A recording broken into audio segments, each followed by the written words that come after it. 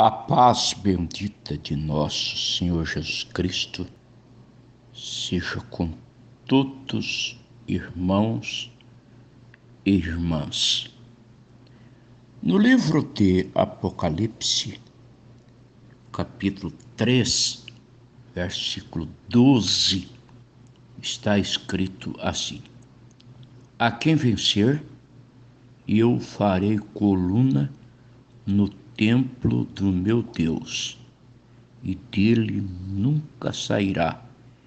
Escreverei sobre ele o nome do meu Deus e o nome da cidade do meu Deus, a nova Jerusalém que desce do céu do meu Deus, e também o meu novo nome.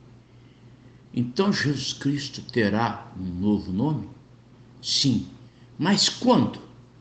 Quando que Jesus Cristo terá um novo nome? Eu estou com a mensagem do irmão Brana, perguntas e respostas sobre os selos. Nessa mensagem, no parágrafo 99, a pergunta é de número 4. Foi feita uma pergunta para o irmão Brana acerca desse novo nome. Resposta do profeta. Eu não sei. Eu não sei qual é. Veja, provavelmente será dado a conhecer quando chegarmos lá. Captaram? Mombrana diz: provavelmente nós conheceremos o novo nome de Jesus quando chegarmos lá. Porque o nome Jesus é um nome salvífico. Enquanto Deus estiver salvando, esse nome se perpetua. Senhor Jesus Cristo. Sim, Está escrito no livro de Isaías, capítulo 52, versículo 6, porque o meu povo saberá, verbo no futuro, saberá o meu nome. Porque o verbo está no futuro. Meu povo saberá o meu nome. Porque o nome de Deus seria revelado em um tabernáculo de carne. Na mensagem, o lugar de adoração escolhido por Deus, o irmão Brana fala no parágrafo 71. Mas em Cristo, ele é o tabernáculo de Deus ele é o lugar onde Deus entrou, ele próprio habitou nele. Jesus disse em São João, capítulo 14, versículo 10: O Pai que está em mim é quem faz as obras. Este é o meu filho amado em quem me comprazo habitar são Mateus, capítulo 3, versículo 17. É aí onde Deus trouxe o seu nome e o colocou Jesus Cristo. Portanto, o seu nome foi colocado num homem, seu filho. Deus não põe o seu nome em ninguém mais.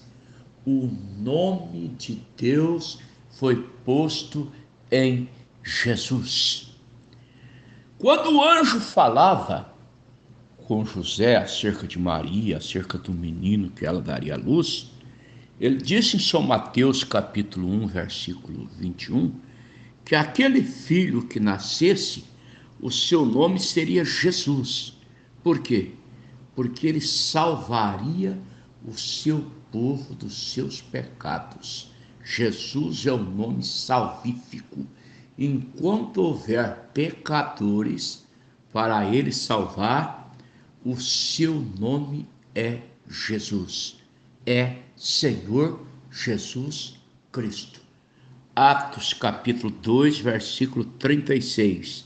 Saiba com certeza toda a casa de Israel que este Jesus a quem vós crucificastes, Deus o fez Senhor e Cristo. Portanto, Senhor Jesus Cristo é o nome completo de Deus. É o nome do Pai e do Filho e do Espírito Santo que Jesus exige em São Mateus capítulo 28, versículo 19 e que os apóstolos cumpriram criteriosamente no livro Atos dos Apóstolos. Eu desafio qualquer teólogo, qualquer bacharel em teologia, a me provar a prática de São Mateus, capítulo 28, versículo 19, no livro Atos dos Apóstolos, a não ser em nome de Jesus Cristo. Atos 2, 38 Pedro deu a prescrição para que quase 3 mil pessoas se batizassem em nome de Jesus Cristo. Atos capítulo 8, versículo 16, Felipe batizou o povo em nome do Senhor Jesus. Atos capítulo 10, versículos 47 e 48, Pedro mandou que os da casa de Cornélio se batizassem em nome do Senhor. É claro que Senhor ali é Jesus. Eles não tinham outro Senhor. São João capítulo 13, versículo 13. Vós me chamais mestre e senhor e dizeis bem porque eu o sou. Atos capítulo 19, versículo 5. Paulo rebatizou 12 pessoas, batizando-as em nome do Senhor Jesus. É o único nome dado aos homens através do qual importa que sejamos salvos. Atos capítulo 4, versículo 12. É nesse nome que se prega o arrependimento e a remissão dos pecados. São Lucas capítulo 24, versículo 47. E em seu nome se pregasse o arrependimento e a remissão dos pecados. Atos capítulo 10, versículo 43 acerca de Jesus dão testemunho todos os profetas de que todos os que nele creem recebem o perdão dos pecados pelo seu nome. É nesse nome que nós nos reunimos. São Mateus capítulo 18, versículo 20.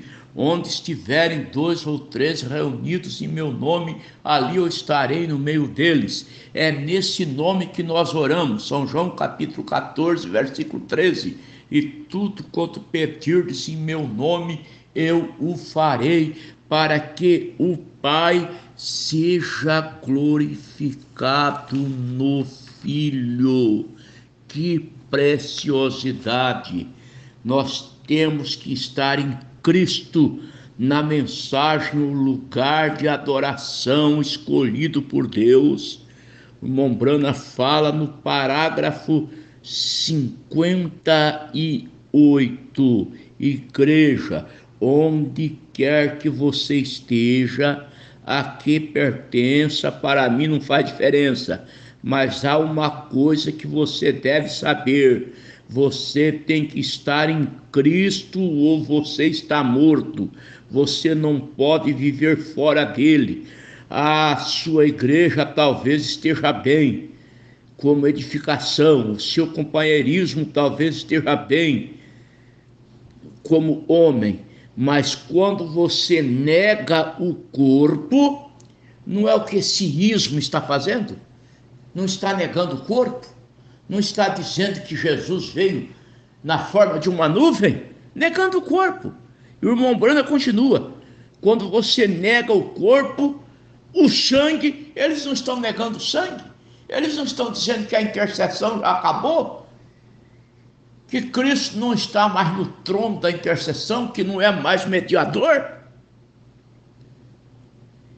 E o irmão Brana continua nesse parágrafo 58. Ele diz: é o lugar de adoração escolhido por Deus.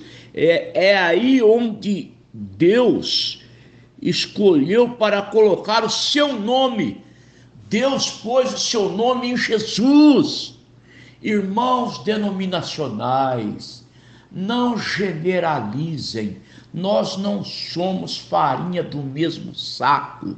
Essa pestífera heresia, esses homens desviados doutrinariamente, dizendo que o William Brana é o novo nome de Jesus Cristo, isso é idolatria, isso é abominação. Nós não somos farinha do mesmo saco, nós não cremos assim, nós não pregamos assim. William Marion Brana foi o nome de um pecador salvo pela graça de Deus. Esse homem manifestou o ofício profético do Elias prometido em São Mateus, capítulo 17, versículo 11. Mas o seu nome não é o novo nome de Jesus, isso é idolatria isso é abominação, isso é o cúmulo da heresia. Graças a Deus que nós, os eleitos, estamos blindados, vacinados, protegidos de, dessas miasmas intoxicantes. Não somos enganados. Deus continue vos abençoando, meus irmãos e minhas irmãs. Amém.